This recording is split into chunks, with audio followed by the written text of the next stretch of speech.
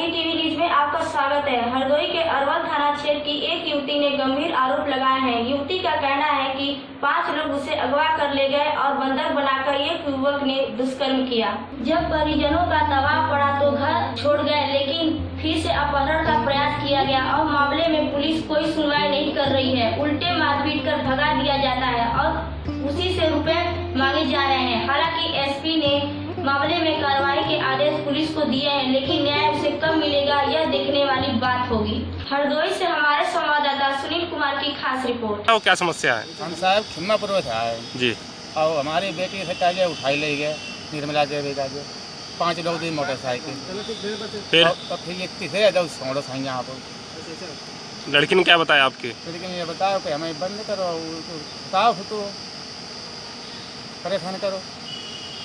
कुछ गलत काम भी किया? हाँ गलत काम करो तो थाने गए क्या हुआ? थाने साहब के रुपया मांग देते हैं।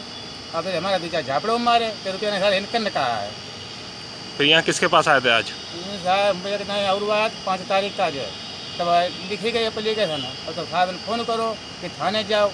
और थाने तब कुछ हम गए तब तुम रुपया कहाँ लगे तब फिर लौट आए फिर आज फिर आए तो वकील ने कहा चलो कहीं फिर लगा बोले कहीं।